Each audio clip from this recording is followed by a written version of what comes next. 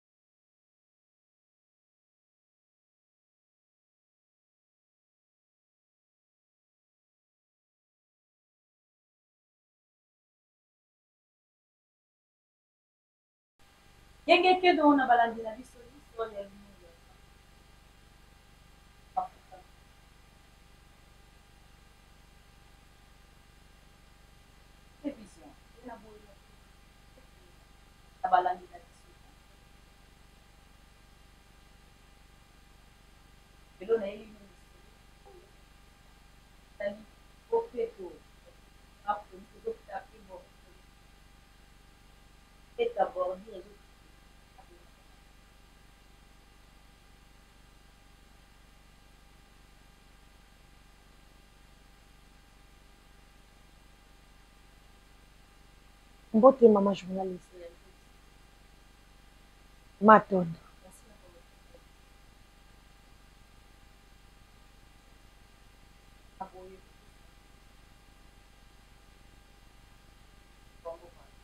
Matondo mingi, kombo na ngai Ndona Maingi Nkiawete, nazwami na Luvila Mfumua Nsaku,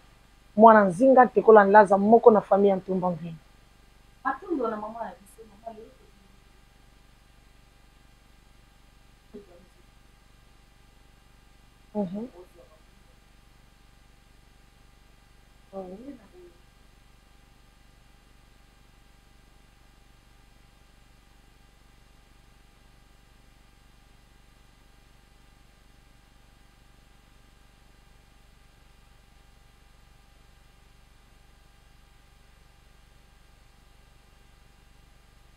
matondo mingi papa mama journaliste pardon en tout cas Ee, mama oyo azali nanu mwasi ya libala. Yambo tango olamuki na tongo, cinq heures du matin, mama alamukaka po na kosukola. Tango osukoli, o brosser, soki okozonga mwa moke na pongi, ozongi mwa moke na pongi, tango okolamuka nde obandi kosala oyo ezali bopeto ya ndako. Tango na mwasi oyo azali. Mwasi oyo aza na mobali na ndaku te balobi propriete ebandaka dejà na ndaku ya baboti maman dejà tangu aboti mwana naye il faut alakisa dejà lolenge kani mwana naye akozala lobi nango na ndaku ya libala meme ozali na ndaku ya libala te kosokola tongo ezali très important mwana mwasi cinq heures olamuki osukoli ozongi nango na pongi otango kolamuka lisusu nde obrose obandi kosala misala oyo ezali ke osala na ndaku.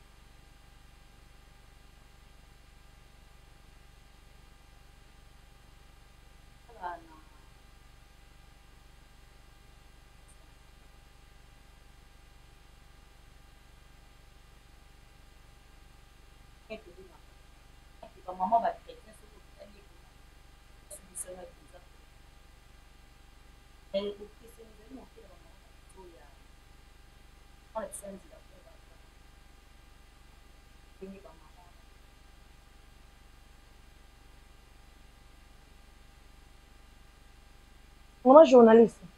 nga naza mama nde navanda naza mama chrétienne to naza mama ya nzela kongo ah, matondo mingi tellement ke naza mama nzela kongo seke bopeto ezali na kati ya nzela kongo soki omoni mama nzela kongo aza na bopeto te azali sembesembe te seke eza deja banda na baboti na ye bazalaki sembesembe te yango wana omoni mpe salite wana amemi yango ntina kilongo ti mpe na misala na ye yango ozomona lelo biso ebele bapapa na biso ya nzila kongo bazotambola na ekobo mpo yo mama ata mwa nsunga bi eyaka na nzoto te olataka kaka bilamba moko lokola yo moto ozokenda kolelaka bibembe na mboka ah mama na ngai nani ayebisi yo mama wana eza kozanga koluka nde kokima depense so otali bongo bangunza mibali mingi nafingi bapapa te oya kaka te boye te me omona mwa mwasi moko boye akoti na kilongo azwa mwa nsunga papa koyi olanda eh, seke bamama nzela kongo fo tofongola miso oh, omoni babiloko mosusu oyo te mwa nsunga wi ba biloko wana nsunga wana oyo eza mpe negatif eza oyo mpe eza mpe ya malamu ezali mwa nzoto fo eya mwa nsunga mama eh, mwa olamuki na ntongo bosoko otokaka tokaka ozwi mwa mwa citron olekisi na sa mapeka mpo ekausa mwa mapeka wana mwa mapeka eya mwa nsunga mwa bien ozwi ata nini oyo okoki kozwa ata nini mwasi soki obelaka eh, bakari dentaire zwa ata nini clou de girafe otafuni otafuni yo mwa monoko wana ezwa mwa nsunga eh, otafuni mwa clou de girafe mwa nsunga wana ekotikala na mwa monoko ntango okobaye pembe na lipeka papa papa akolandaka mwa nsunga wana mwa bipopo ekoya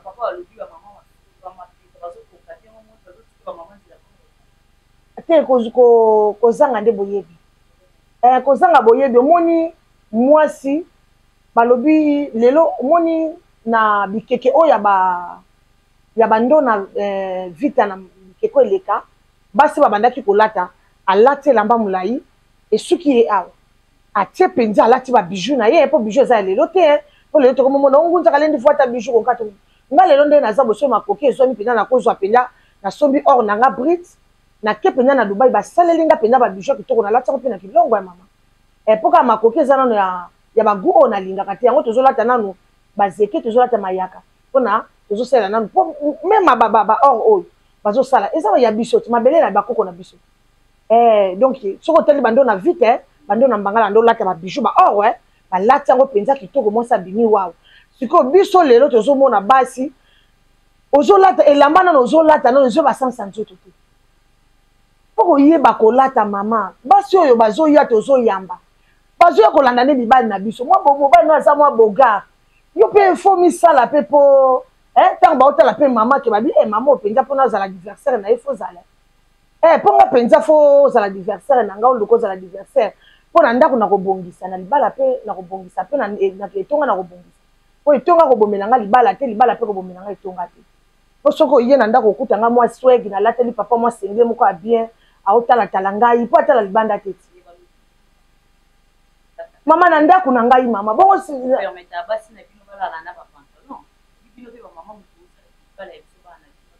basi balata na balala na bapantalon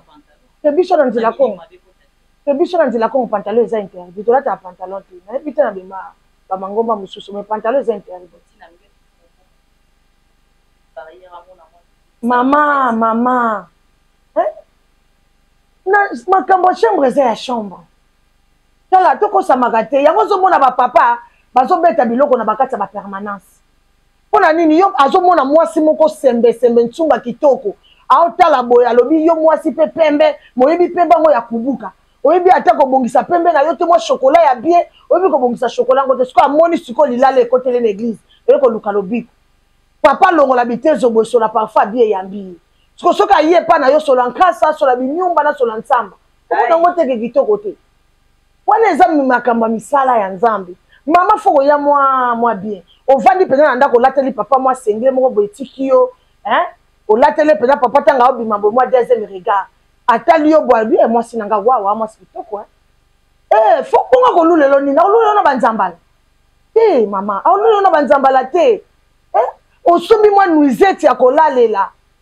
musicien ekobomba yo nzoto mais eza na ntango moko boye ebeteli papa mwa tour amoni mpenza atali alobi yo mwasi na ngai na makolo ya kitoko eh. mpo bangunza baa na makolo baa na bamole mama na osaka kosakana te e eh, komonaka te ndenge tolataka banzambala milai bandambisa okanisa toa na makolo ekonda lokola bati jalmete te tika makolo wana mama papa siko aza na te amonaka yango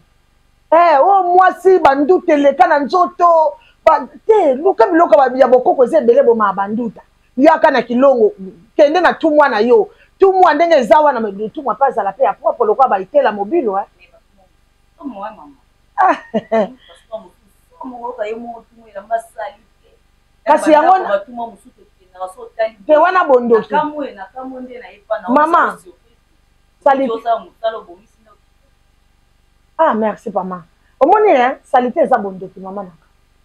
omoni salite eza bondoki mpo meme bangunzi oyo ya kala bazalaka salite te salite salite oyo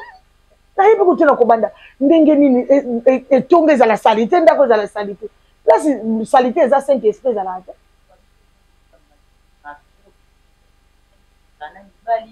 ekomi biloko ya kolia boye na te na tachatela Ekomi biloko ya kolia boye ma coca meme papa na bino mayi makambo ya bongo nyonso wana bobosanaka po ani ekomi mwasi ya molimo makambo wana somoiba papa bakepeli banda te mama na ngai omoni nga toliaka sani moko na mobali nanga na papa sani moko mpenza eh, totelingisa na soi biso mibale e ti lelo bolingo na biso banayebisaka meme bana boza balocataire boyeki kokuta biso bokotika biso bolingo enuna te naza na kilongo nayebisaka bana na ngai na kati ya kilongo na mbanja na bi soki naza na, na eglise na mbanja awa naza chef spirituel na bino me soki nake na ndako soki obengi ngai te otumwa oh, nazwa na ndako yokuta ngai na sende etali yo eh. epo nalateli mobali na ngai nalateli bino te kilongo eza na ndako na ngai te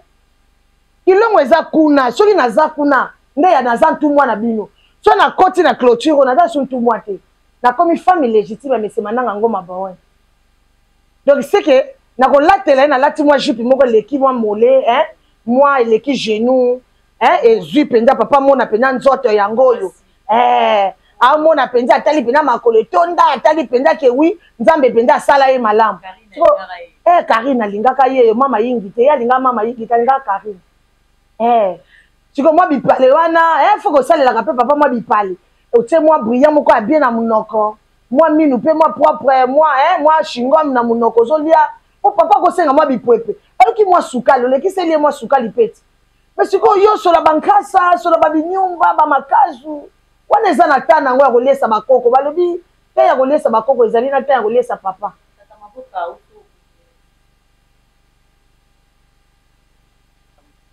mm -hmm.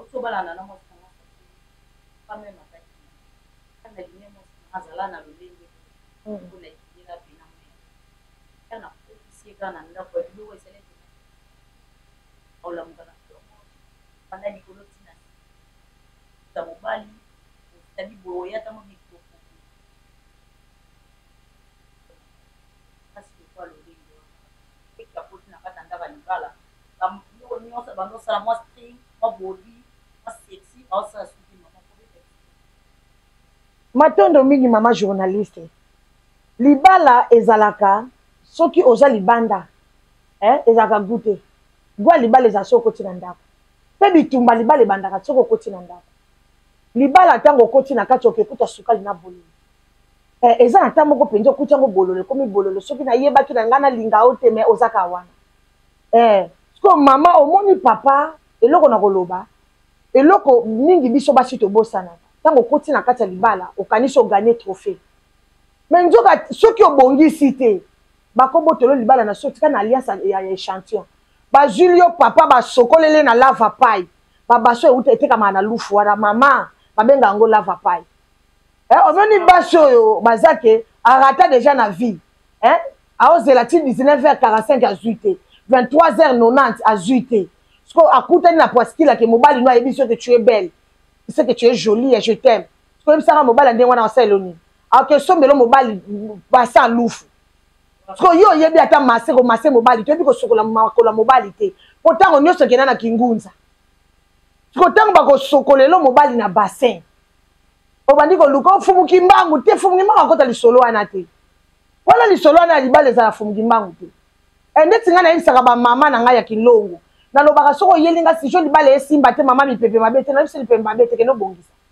e kende kobongisa mpenza mpo seke ozobongisa te tala mitala bien est ce que mwa nsunga eza est ce que vraiment entretien ya bomama ezali ndeti biloko ya boye mwasi babali ye après une année achange identité echange na posokomi lokola mambi kakala wana estoma abelaka on mama mama journaliste oyebi basi oyo bazelaka mibali na biso libanda baza ta ebele e eh, bango bakipaka te papa na aza ngunza te mbongo kaka lifiofio kaka ezala kotanga azwili yo mobali asombeli ye baso alufu bamama bolanda nga bien asombeli ye baso alufu wana lava pai yo sikoyo oyebi basin wana te oza na salle de bain na ndako toza na baignoire te sikoyo ye aza kaka na mwa annexe ya chambre salon asombela mobali no nini base wana alufu na nsima na yango azwi le huile d'olive eh, ya massage bamama boyebaka te huile d'olive emasaka bapapa eh. eh, na nayebi biso huile d'olive ezalaka lisi mama mpo ekomase papa partout Eh, eza na infection te ote kopesa cancer huile olive epesaka cancer te ekotaka partout eh, mama nazoyebisa yo tika sikoyo ntango azwi huile d'olive atieli yo wana azwi vaseline mpo akowa yango vaseline yango akomasele makolo ya papa eh. azwi sikoyo nestile oyo ya, ya mai wana atoboli atie deja pembeni wana azwi na papa na yo wana wana basi oyo bazela mibali na biso wana calcul babetaka eh, bamama siko biso siko fo tokopiaka bacalcul na bango mpo toretenir mibali na biso siko ntango azwili yo papa asukoli ye bien bien asukoli ye asukoli ye asukoli ye esili atandi elokwa na tapi oyo eza vide boye hey, atandeli ye liputa bien aesuye ye bien anikisa bitambe na ye bien azwi sikoyo abandi komanse na huile d'olive oyo oh, yo kutu banda obotama oyebi ne bamasaka papa te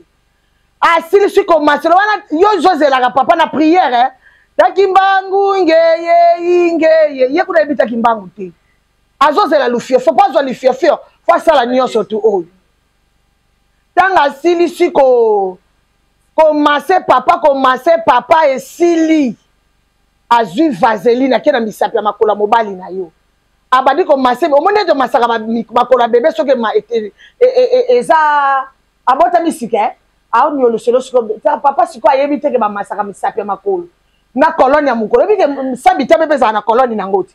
po azomase siko kolone wana so baomase yango eh, sentiment na emataka papa ntina cerveau siko ntango akoye epa na yo akoye epa na yo abengi abengi yo na nkombo ya fifi ah fifi eh, yo komona egete ndako ebebi asali papa aksida ekwei ozomona sikoyo wana ntango asilisi vaseline asa mitambe azwi sikoyo nestile wana bamama mpo deja huile d'olive eliamaka azwi sikoyo nestile eh, asopeli yo papa na colonne vertebrale hey! Eh, ozomona o oh, kisi bakangi mobali na ngai na kisi te mama stratégie oyebi yango te oui nateyaka ndeti nga mpenza meme na kilongo nalakisaka kolamba oyebi kotumbela papa poisson te na kolakisa yo mpo nga mpenza antuka nzambe apambolanga kote kuna kolamba nazali kingunza nazali kobongisa papa nazali epo eh, neti nga nalinga na nga te papa lata lokola ramani kota oyebi ramani kota bachemise oyo ezalaka soki obeti bule beti boye pu eh, pantalo banda bandaki kobalola ceinture lokola eh, esali masusi esali masusi eyawo evimbi okanisa nini nzoka nde jine eleki lokola oyo ya badelavo ya kala wana po papa alata mwa eh? osantir papa alati mwa bien osantir otali papa olobi ke wi mobali na ngai azalaka bogar eh? mbali na ngai mbali kitoko wi yo moko na fo lula ye eh? soki ntango basopeli ye na estile wana switi nango eza nini point d'interrogation eh? soki oyebisa nga mwasi wana ti azosala bongo sola mapeka eza na, na stike ya bien sola stike ya bien na mapeka kotanga azolekisela papa boye papa mwa zolo eleki boye ayoka bien na se ya mabele kote oyo mpe etokaka basi bayeba yango te e, elumbaka mpe solo il faut kolekisa mwa nsunga eya e, mwa kote oyo mwa nsima matoi matoi mpe nika bien mama matoi esala couche oh, eh? papa azolinga alekisa lolemo boye maboko yoki degout bamama kingunza eh, tomeka yango ozomona omoni ndenge eza boye pa mama na ngai mama journaliste incarnation toza nango ya génération ya quatrième génération eza matate mpo bana baandroïde nazo biso bana ba 2000 oyo baye mabe ozomona mwana 2000 eleki koyeba kutu lokola mwana 1800 siko yo oza kaka wana na kimbangu ngeye nge papa ye oyebi nde baliaka na papa te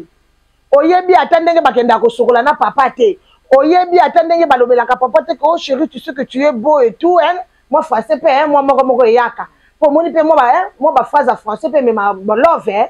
eh, ya eh, talaka so nalobi na kikongo papa ngeye kitoko ye eh. yake yake sole mpenza mbote yake ekuizala tendresse ezobi papa e eh, papa ozalaka kitoko eh. Mais faut la bise chérie na oyebi que eh papa tu es beau hein. T'as bien habillé hein chérie. Ah mon amour hein. C'est beau hein. Ozoka papa la lisi moi misa. Hmm. Mama mama alingi ngai. Eh moi oh moi bonga wenze bimi mama. Pona ko bimisa mama papa mbongo eza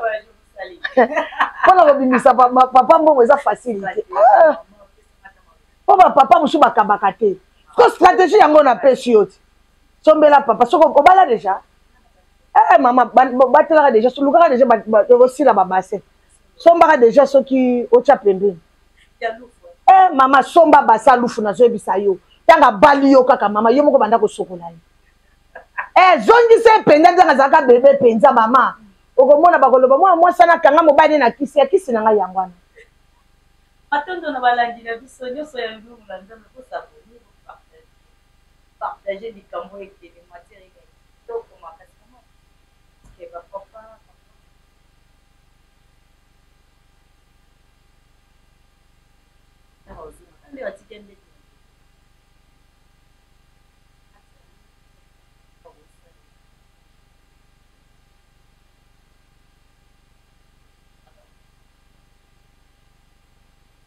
Matondo mingi en tout cas tango ozo lala na mbetu na mutu ya mbetu na yo il faut ozala na ba esui mibale eh, il faut ozala na ba esui mibale po soki tolobi osomba ba lingette tango mosusu ba lingette wana okoka te oloba o oh non aza na mbongo te po ye aza na mbongo boye na boye te somba ba esui ata na tombola tombola pe facilita nango bato osombi ba esui na oyo ya ba 1000 francs 1000 francs na eh, oyo ya mike wana yamba babenga yango yamba papa eh, osombi yango mibale orepasa yango bien otie na moto ya mbetu soki oza na salle de bain na kati ya chambre mwasi soki mabina esantu esili jabo okoki kolala ndenge wana mpo on ne sait jamais 5 heures mpe ezali omonaka papa biso sikama sikama ntia diabe elundidi yo sikoyo obandi kobetabeta miso lokola moto aolia pilipili ya mbote olobi subo mpeto te mama bandi okimisa elobi kasi okokende na libala ti etake naza na libala yango lelo toolobela kingunza te tozolobela bopeto sikoyo ntango oyo bosalite ezali oyo wana marchandise wana ekotaki na, na butu odechargeaki eh, contener te sikoyo ntango ba, eh, eh ba 5 heures il fallait badecharge bacharge lisusu contener yo sikoyo bandi kobetabeta miso mpo na nini charge eza nanu kuna na kati omona te ntango papa ake boye abandi koyemba nzembo nzembo wana ekimisi papa abandi omono salite boye na boye mwasi na ngai aza polele boye na boye te yo moko orendre yango ezala polele il faut mwasi ozala na na na, na nini na baesui na yo mibale na mbetu na yo oza na na nini bapetit bassin soki oza na salle de bain na kati ya chambre na yo te oza na, na so na yo petit, petit sono mibale moko tie mai eza na mwa sava poussière moko eza na mai na mwa kopono na kati oza na, ba, na nini na petit bassin na yo wana da bassin oyo ko se soigner tango omoni ke eh, mabine esantu esili na papa esui moko eza mpona koyambela papa mpona ko, kobongisa ye ntango osilisi kobongisa papa otie ye wana mwa mwa kopo ya mai eza eh, fo kozalaka mpe na habitude osombi ata mwa koka na mwa na estilo otie wana mpo na energie mpo na papa mpo azwa su makasi na mwa 5 heures ozwi soki bosilisi mabine santo osaleli ye mwa na estile na koka obeti yango dar dar opesi ye ameli mpo energie ezonga ti eh, fo kozangaka biloko wana te soki obali eh, eh, oza nango pembeni wana ko soki osilisi ale ntango mabina esantu eza eswi moko yango kotyela eh, fese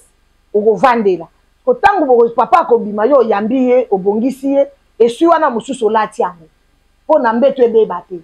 ntango okolata yango nde ntango okotelema osesuye okiti ozwi mai wana oyo ya propre wana ozipaki na mwa kopo nosalelaka ovandi ongunzami na petit base wana osokoli bien bien osesoigne esili opangwisi bien bien alo ozwi besui wana nyonso mibale eyambeli otie na kantine wana oyo eza na mai ya sava poussiere ozwi lisusu besui mibale oremplace na mbetu mpona ezela 5 heure po on ne sait jamais ezangaka te ee eh, wana sikoyo papa komono mwasi ya bopeto mais soki ozosala yango te okobima mwasi ya bopeto te mama journaliste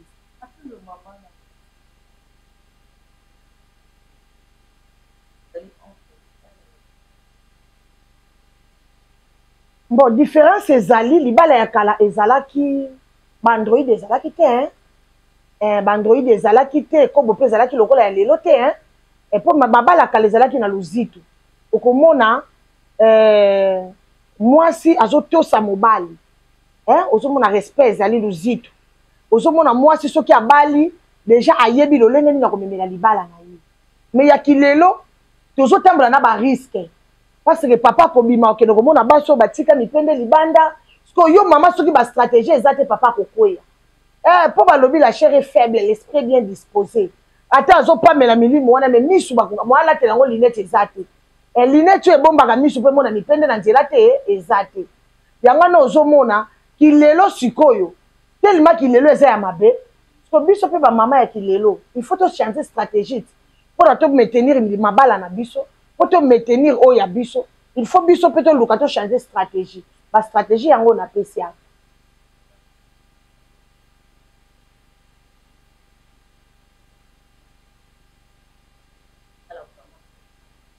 bon source nango ezali eh, basi bakomi koenvie patience mpe eza te bamama ya kala mobali aza na eloko te akozala na patience me lelo ozomona mwasi ya libala azosala ekobo mpo na nini mpo voisine na ye aza na kabelo mpo voisine alataka bie ye mobali aza na kapasite akosomba yango te yango wana ozomona basi baza na luzitu te oyo balobi respect eza te me bamama ya kala okomona mobali ate asalaka te ye azoteka akoliesa mobali na ye mpo ayebi vie ya lobi ya mbali na ye ekozala ndenge nini mais lelo ya biso komona soki mwasi ye moto azoliesa ndako na mwa koteka mwa faiblesse ya mobali abandi komanipule mobali zwila ngai nzete ya fufu e zwila ngai kombo e papa tokisela bana mai ya ti akomi kotinda papa me nzoka papa aza roi e papa aza roi mama nazoi biso mama journaliste soki olingi libala lobi obali libala no ewumela quelque soit oza mokonzi ndenge ngai naza mokonzi na kati ya lingomba me ntango nakomi na kati ya eglise na ndako na ngai naza mwasi ya libala e papa te ah nabi sheri limbisa ngai papa nasalaki erreur papa limbisa na kosala lisusu te e fo nabondela ye ifo nalengela papa soki asiliki naza mpe na banzembo oyo nayembelaka ye mpo kitie motema me lelo basi ya lelo balingi presse balingi vi moko ya eh? trop kilelo aza na mbongo ya mobali aza na kapasite kosombele iphone te ye alingi iphone soki oyebisa ngai akosala nini akoluka akende abima libanda mobali mpe akosala nini akobengana ye yango wana ozomona mabala ezowumela te yango ozomona mabala moto akoti libala après un mois deux mois mobali azosentir ye lisusu te en plus propriété soki eza te na kati ya libala bamama na biso ya kala bazalaki na bopeto oyo tozolobela me lelo tozomona mwasi ndenge towuti koyoka awa alamuki banda ntongo ti 17 heure ndenge owuti koloba awa asukoli te oyo oh, wana eza na ye kaka ale akomi polele abandi koloba o oh, tenga bandoki o oh, marie de nuit me ye moko ozobenga ba marie de nuit parce que mwasi soki oza na bopeto marie de nuit akoya te marie de nuit ayaka place eza salite ozomona mpo marie de nuit akota avanda kati na yo nde moto ozobenge na esprit na yo eh, mpo marie de nuit abima ata bakosalisa yo me yo moko nanu fo bimisa ye luka faso nini parce marie de nuit alukaka esika oyo eza na biso basi na mibali te eh. marie de nuit akotaka bisika oyo eza salite eh, mpo aya komanipule yo biebie abebisa yo bien bien mais soki oza propre ozomiyeba komilengele marie de nuit akoya te ozomona c'est ça que ozomona mwasi chambre na yebi kobongisa te mwasi ndako na ye salite parti okokende boye mwa solosolo ya ngai bafenetre abimisi mopepe oyo balalelaki te nyonso to wana ekontaka na ndako ya libaya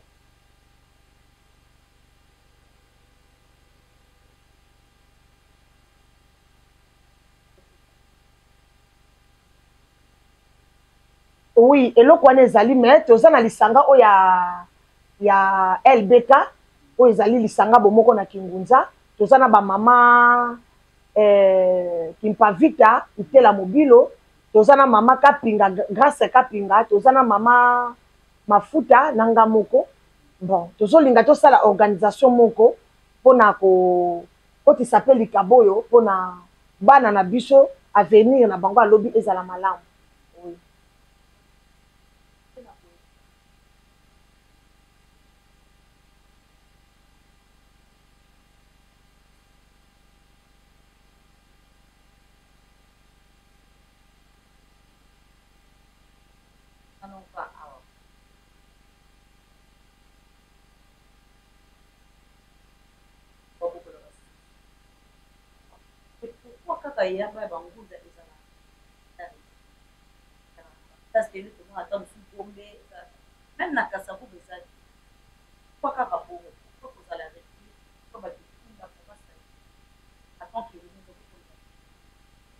Ah, matondo mingi mama journaliste en tout cas mpo na propriété na bamavuala na biso eza ça dépend nakanisi nayebi te soki osi oya na easa Voilà, na mona nayebi te soki omona salite te. Na mbanja lunungu bisika ya mama itela nayebi te soki omona salite te. Donc c'est que salite elanda kaka moto. Ozolanda. Mpo na ba Gombe to eh, ba nini oyo olobi